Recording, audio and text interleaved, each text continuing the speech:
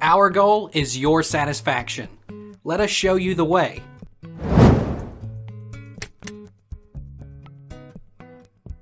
Is TSP cleaner toxic? TSP is moderately toxic by ingestion and is a minor skin irritant, but the big advantage of using it is that it doesn't produce toxic fumes.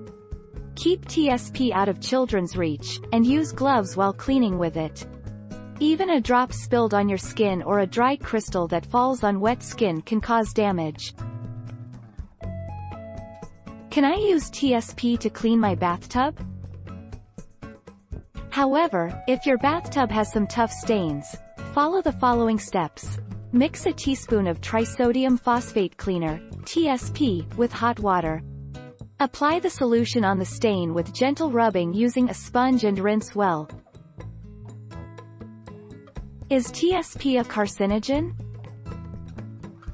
Trisodium phosphate, TSP, in fact, the EPA still recommends the product for removing lead paint dust because it binds with lead and turns it into lead phosphate.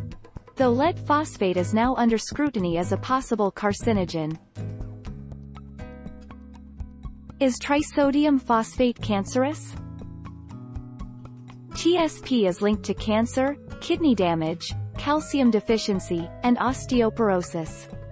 According to the National Institute of Health, NIH, trisodium phosphate is used in soap powders, detergents, antimicrobial cleaners, and other cleaning agents.